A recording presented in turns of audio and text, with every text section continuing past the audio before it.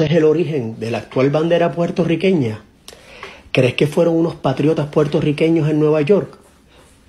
Por más vueltas y fantasías que se inventen, el hecho indiscutible es que la bandera que tenemos es la bandera de Cuba con los colores invertidos.